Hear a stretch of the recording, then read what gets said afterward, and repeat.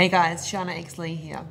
So it's been a long, hard day. Everything's out of your time frames. You have been running from A to B and you feel like you're constantly chasing your tail. Maybe the kids aren't talking. Maybe they're arguing. Maybe you've got neighbor problems, sister problems, brother, mother, everything. The whole world feels like it's heavy. Often, our knee jerk reaction is to reach for a glass, reach for a bottle. We're trying to find a way to numb out and switch off. Sadly, all that does is it banks it up for tomorrow. It doesn't go away. It doesn't become easier by the bottle, but God, it feels good. The numbness, the ability to just let it go.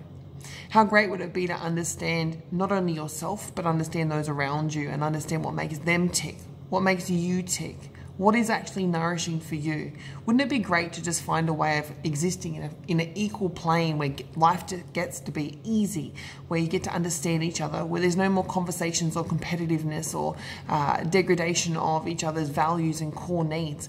What if there was a, a way that you could be able to live in a world, create a world, or have relationships that were balanced, that were of understanding and acceptance?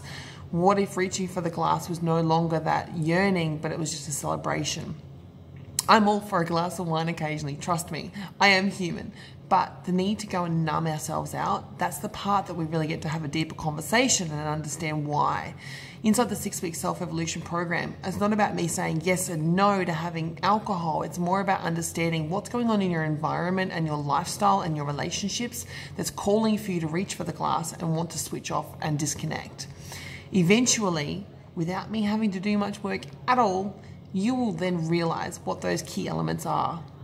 I understand, I totally get it. It feels good, it feels easy to do that. But is that really living?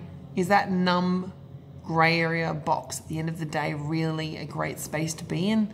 Or would you actually prefer to be able to understand, connect, breathe every day and know that you are supported.